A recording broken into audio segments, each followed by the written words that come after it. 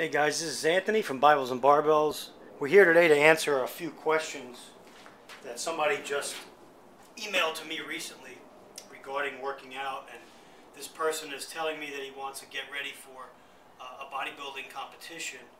And he's asking me a question. He says, uh, How much protein do you think I should be eating daily? And how many grams of carbs should I have in my post workout shake? Okay, so he's asking how much protein he should get. And my answer to him was as follows. Everybody's different, but generally, from my experience, the body can only handle a certain amount of protein at one time. You can't ingest 100 grams of protein and expect the body, your body, to efficiently digest that and use it to build muscle.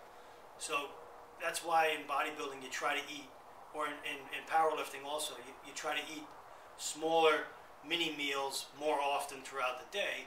Therefore, you're getting between 20 maybe and 30, 20 to 30 grams of protein per meal. That way, your body's not getting shocked, and your body can take that protein and put it to work for you.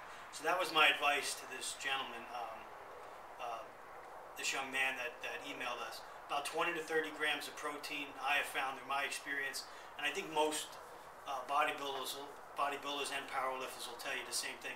Unless, of course, you're on the juice or you're taking steroids where you're going to uh, probably require more um, uh, protein.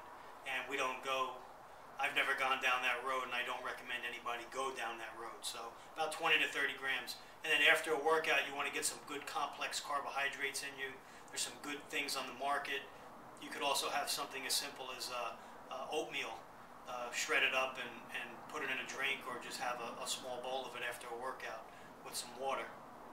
Um, so again, on the carbohydrate, I would say about 40 grams maybe of carbohydrate, complex carbohydrate after your workout within about uh, up to about an hour after a workout. Okay, so that's the, my answer to that question. But first of all, more importantly, I'd like to read a piece of scripture from uh, Paul's letter uh, to Timothy in 1 Timothy, where Paul's given instructions to Timothy.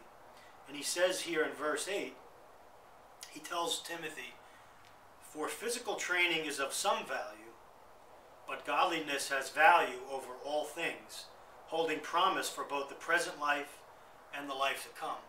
But what Paul's basically saying there is physical training is of some value, and we want to work out, we want to get our bodies in shape, and there's nothing wrong with that. But understand that being godly and reading your Bible and going to church and fellowshipping with others and serving in the community and doing things of that nature is much more important and should come first.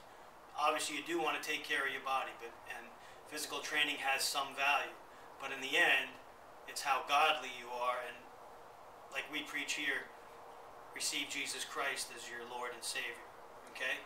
So that's our tip for today, our answer to your questions. Keep your emails coming and keep praying for us, and we'll be praying for you guys. Until next time, God bless from Bibles and Barbells.